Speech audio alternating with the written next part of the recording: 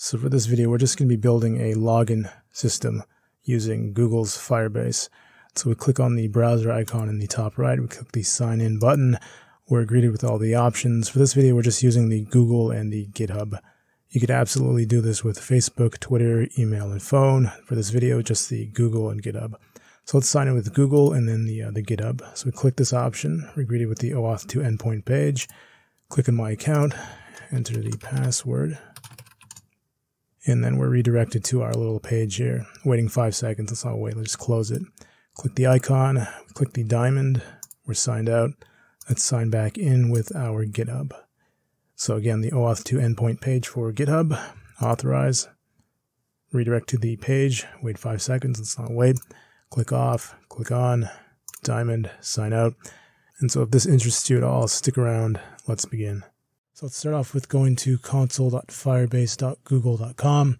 We click on Create Project. Let's name it FBOAuth2. Name it whatever you want. Click Continue. We don't need the analytics, so click that off unless you need it for your app. I'm going to create a project. So we'll click on the, uh, the Continue. Uh, we're going to need to create an app here. So there's iOS, there's Android, and there's a web app. So let's click on the web app. We'll register, let's call it the Chrome extension. Um, I don't know, OAuth 2. We don't need the Firebase hosting unless you need it. Register the app. And it's going to give us some startup code for JavaScript. We're going to need this later, but we can always come back to it. So just scroll down, navigate to the continue to the console and let's go to the authentication uh, SDK. So we'll click on the authentication, we'll click on the sign in method, and let's enable some guys. So these are the, uh, the options that Firebase allows you to use for your uh, custom sign in pages. We just need the Google, so let's click on this, slide to enable. Let's uh, enter some sort of support email. I'm going to do mine right there. We'll click on the save. Let's go down to the GitHub. We'll click this. We need a client ID and a client secret. And we have this uh, this custom redirect URI. So just navigate over to your GitHub or wherever you're doing, like your Twitter or your uh, your Facebook. You need to find their developer console. For GitHub, it's on their icon down at the settings. We click on the developer settings. We'll click on the OAuth apps. We'll register a new application. Let's call it the uh, the Chrome extension OAuth 2 homepage URL. This would be homepage for your uh, your business or whatever the app is. Um, you don't really need this to be an official thing. You could do like yahoo.com, I think, or whatever. This is important. The authorization callback URL. That's this guy right here. So we'll copy this. We'll paste this here. And we'll just paste this here for now. Whatever, it doesn't really matter. We'll register the application. There we go. So the client ID and the client secret right here. So let's copy the client ID. There we go.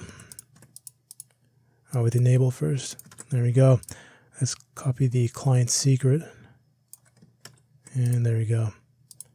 So we'll save. So we've just enabled the Google and the uh, the GitHub. Let's scroll down to add domain. We need to whitelist our Chrome extension. So it's going to be, what's the it's going to be Chrome dash extension colon slash slash, and it's just going to be the ID of the Chrome extension. So go to your Chrome colon slash slash extensions uh, URL in your browser, copy the ID, and we'll paste that right there. Click on add, and we'll scroll down, and we'll change this one account per email address. This means that if they sign in to your Chrome app using their Google account, and they try and sign into Chrome app using their Facebook or the Twitter, it won't allow them. Uh, for this tutorial, we want to allow that behavior. So we need to change this behavior here. Uh, changing the setting will affect your app sign-in flow. That's okay. We'll just do the allow creation of multiple accounts with the same email address. We'll click the save. And there we go. We're basically set up to use the uh, the Firebase SDK now. Just go back to the uh, the homepage here. All right, so let's go over the Chrome extension, and then I'll walk you through the uh, the manifest and the the workflow or the logic flow. All right, so let's go through the uh, the manifest and the uh, the workflow or the logic flow of the Chrome extension. So let's start with this guy manifest right here. All right, so name standard, description standard, version, all this stuff is standard. We're not using the options page. We're using the pop-up page. This guy's really important right here. This content, let me do this. Content security policy. So by default, the version 2 of a Chrome extension won't allow you to use CDNs. And CDNs are just ways of linking a script that links to other scripts and downloads libraries for you. And so by default, your manifest version 2 of your Chrome extension will not allow this behavior.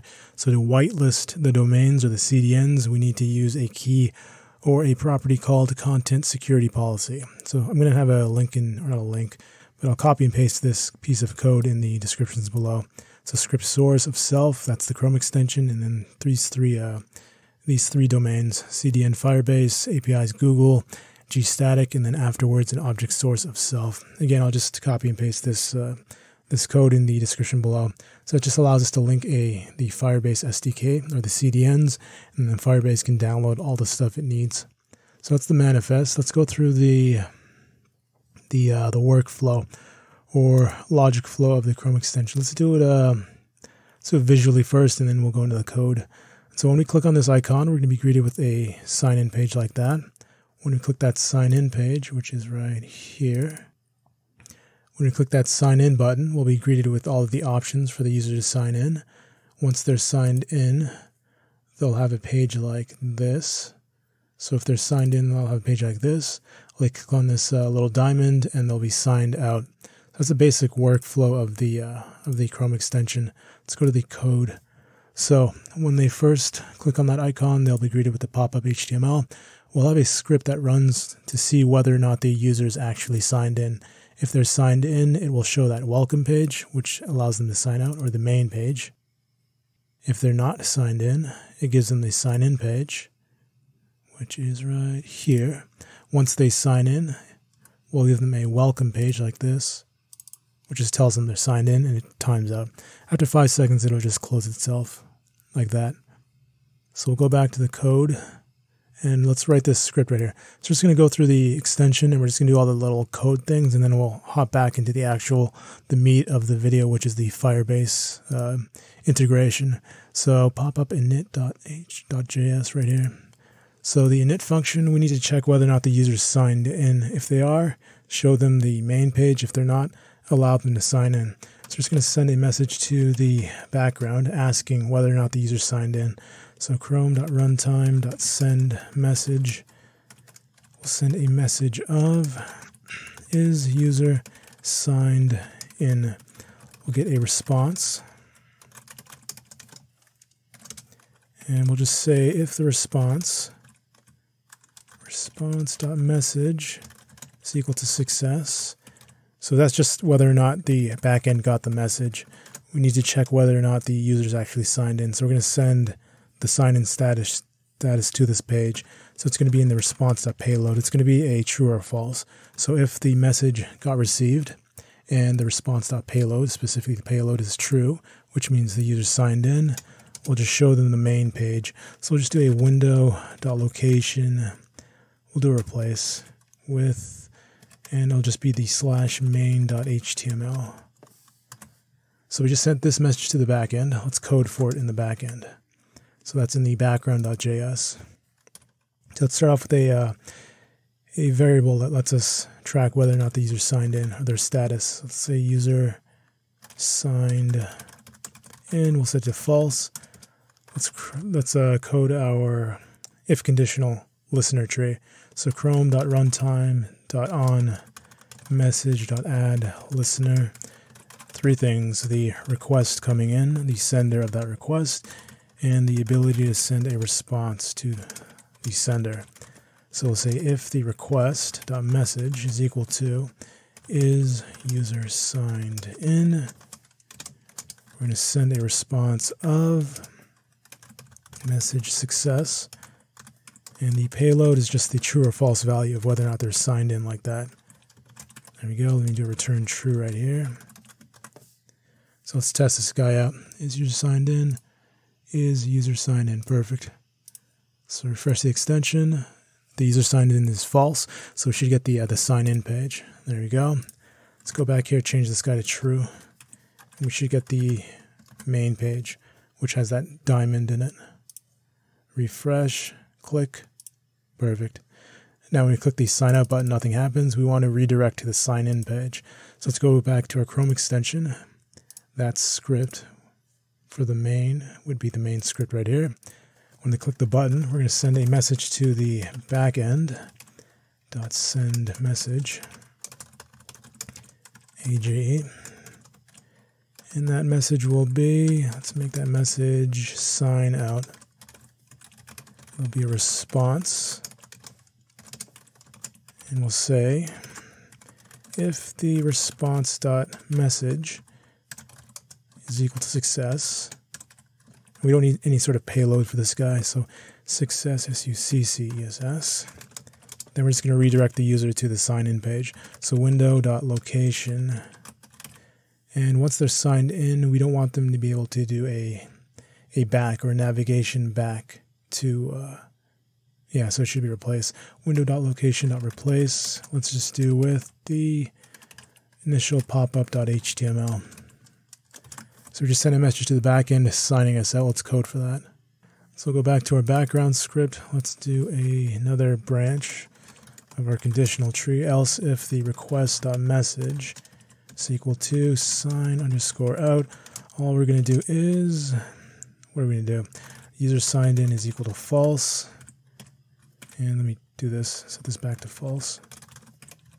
Actually, to need to do this so we can test the page out.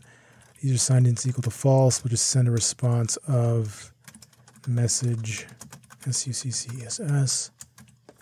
There we go. Let's test out that uh, that main page.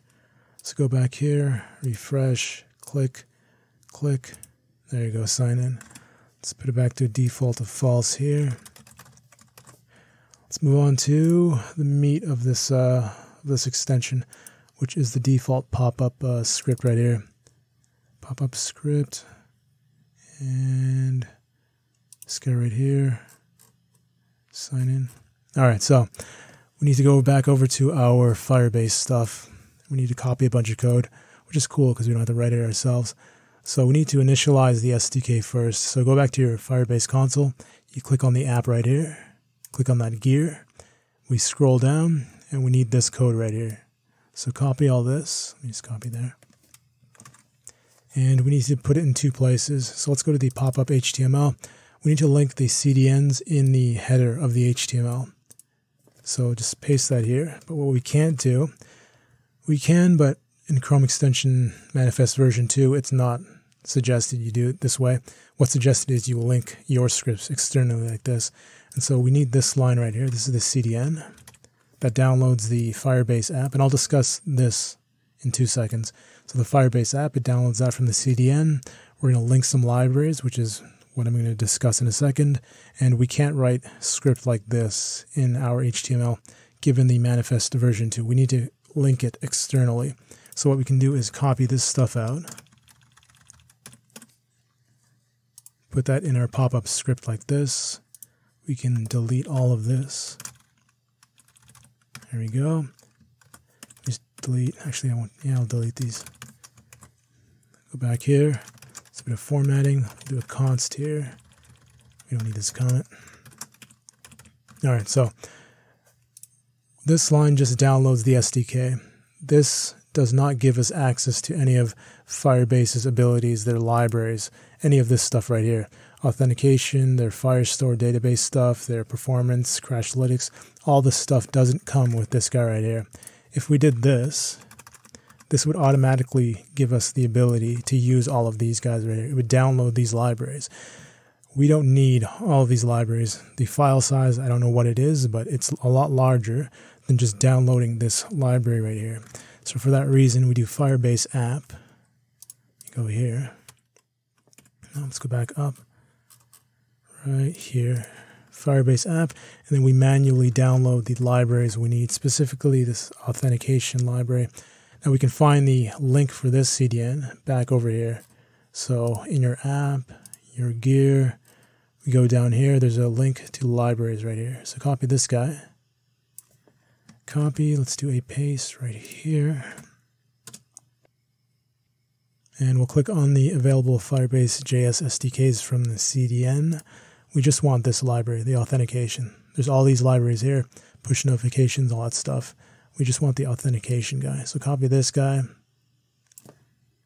We can close this window, go back here, and just link that library just like that. So that's set up for the SDK, the authentication library we need. Now we need some way of displaying the options to the user.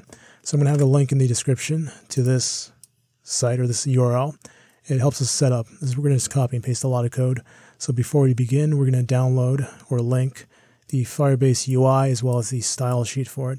This is what's going to show to the user. We don't have to write the code ourselves. So copy this. We paste it in the header as well. There we go. And that's good for the header. So we've downloaded the SDK, the library we're going to need, as well as the library for displaying it to the user. So we can close this. We can go back to this page, scroll all the way down to, where is it, sign in? Here. So we're going to initialize the widget. So we copy this. We'll go into the actual script. We'll paste that here. Let's not do a var. Let's do a const. And I'll leave the comments for this. And then we'll need, oh, so forgot to show you guys. You're going to need some HTML in that page that allows Firebase to hook into and show the options. So Let me go back here very quickly. So our pop-up page, the actual HTML is relatively, this just makes it look pretty. The actual HTML is four lines or five lines, four lines. That's the sign in button. That's completely on us. What Firebase needs is a div that allows it to show all the options. Name it whatever you want. I named mine sign in options. For their example, they named theirs Firebase UI auth container. So mine is whatever, sign in options. So that's what this stuff says here. We don't need any of this. We go to the UI config. We can copy all this. Let me close this. Paste the UI config here. And I'll go over all of this in a second. Let me change this to const. Const. There we go. And now we need to, when the user clicks that sign in button, should have closed that.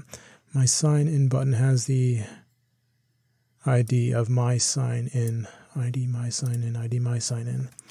So I'm going to do a document dot get element by ID, my sign in. I'm going to listen for a click, so add event listener. Click, and once they click, scroll up a bit. Then we're going to initialize that Firebase UI. So that's the last bit of code we need to copy. So we'll go down here, copy this guy right here. Paste that right here. So once they click, we're going to run Firebase's little UI. It's going to do all the work for us. We just need to give it the div of the uh, that they're going to use to insert all that stuff. So that was what I call it? A short-term memory. What did I call it? Sign in options sign in options. And of course, we feed in the UI config, which we'll talk about now. So let's uh, just go line by line. So callbacks. When we've successfully signed in, if we return true, it'll automatically redirect the user to this URL here. The thing about a Chrome extension is it's not running its own server. So you can't redirect to your Chrome extension. You can't redirect to something like this. Uh, I don't know, HTTPS and then it would be maybe your the extension ID .chromium app.org that doesn't actually exist externally. You can also you you can't also do something like this extension colon slash slash and then the ID of your extension. So there's no way to actually redirect to your Chrome extension. So for that reason, we can just comment that out and we don't want to return true. We return false and we'll do our own little redirection in here. Let me delete this stuff. So that's the sign in successful with auth results. And of course, it gives you the redirect URL, which we don't really need because we can't do with the Chrome extension. And it gives you like information from that OAuth 2 endpoint. So this is always going to be a bit different based on how they signed in. Twitter has their own little package it gives you. GitHub has its own little package. It's always going to be different. And so the UI is shown. Once we tell Firebase to show all of those options, it's on us to clean up the page. So what you typically do is when they click the sign in button and then Firebase shows all the options. If we don't hide hide the sign in button, they're going to see the sign in button as well as the options. So again, what you typically do is just hide that stuff. So my sign in, you go here. My sign in button has my underscore sign in. So let's just do this. My underscore sign underscore in, and then we just hide it with the uh, the none. That's all you really need to do for this app at least. So UI shown, save that, and sign in flow. Now should I discuss this one? So sign in flow has a pop-up and a redirect. Um, Chrome extensions are a bit unique. You cannot use redirect if you have your sign in page as the browser icon. If we pop up a new page for the user, so something that looks like, should I do it? Let me do it quickly just to show you guys. So we're going to need page action, browser action. We'll do window. Let's go to background. Let's go here. Let's do chrome dot window. I think it's dot create Actually, let me listen for it first. Chrome dot browser action dot uh, what was it on clicked dot add listener. We'll do a function. Let's do this. Let's do is it Chrome Windows dot created? Maybe Windows. We'll see if it gives me an error. Create and the URL. Let me just do what was going to be just pop up HTML and let's just do width of 300 pixels. Let's do a height of 600. And we'll do a focus of true, focused of true. And so if we're using this guy, so let me just explain before I change a bit more code. When we click on the browser icon, we have a sign in. We can't use the redirect authorization flow. You can't redirect within this window, but we can redirect within a created window. So let me go to manifest. Let me Default pop-up, no. Default pop-up. All right, let's do refresh the extension, let me clear the error. Click. There you go. So we can do a redirect within this window here. You can't do a redirect within a browser window or a browser icon window. So for that reason, let's keep within the, it looks better when we do the browser icon. So for that reason, we're just going to keep up the, or keep the pop-up flow or the sign-in flow to pop up and not redirect. So let's go back here. Let me delete all this. Actually, whatever. In case you guys want to copy that, I'll just leave that there. And what's the error we're getting? Add event listener of null. Get element by ID. My sign in. Oh, I see. Pop up here. ID. We don't need the hashtag there. There we go. All right, so that was the sign in flow. Sign in successful, the redirect URI. We don't need that for Chrome extension. We can't use that. Sign in option. So this is how you would tell Firebase which options to give the user. Currently we have Google, Facebook, Twitter. We're only using GitHub and Google, but I'll leave these guys on so you can see what they are. Um, should I? I'll come back to this because we're going to add some properties to this. Just understand we can either enter it like this or you can enter it with a, uh, as an object with custom options. I'll come back to it later. The terms of service, privacy policy, URL, that's all up to you. If your business or your app has a terms of service, you would link it here. So when the user clicks on that stuff, they'll be redirected to your uh, your company or your app's stuff. We don't need it for this app. So let me uncomment this, uncomment this, and that's about it for the config. Let's see if this thing works. Background. Actually, it's not going to work here. So let's do this first before it's going to work here. Let me do this. Refresh. Click. Of course, because I need to put it back here. Pop up. What is it? Pop up. dot .html. Save. Back. Refresh. Sign in. There you go. That's, those are all the options. Obviously, we can't use the Twitter or the uh, email. Sign in with the phone sign in with Google. Let's click on my account. I'm already signed into my browser, so I don't need to enter the password and stuff. And notice nothing happened. That's because we didn't code for anything here. Pop-up script here. All we did was return false. So what we're going to do, once they've signed in successfully, we want to show them, what is this, chrome.runtime. So we're going to send a message to the backend saying, hey, They've signed in successfully. Can you please sign them into our Chrome app? So we're going to do a message of sign in.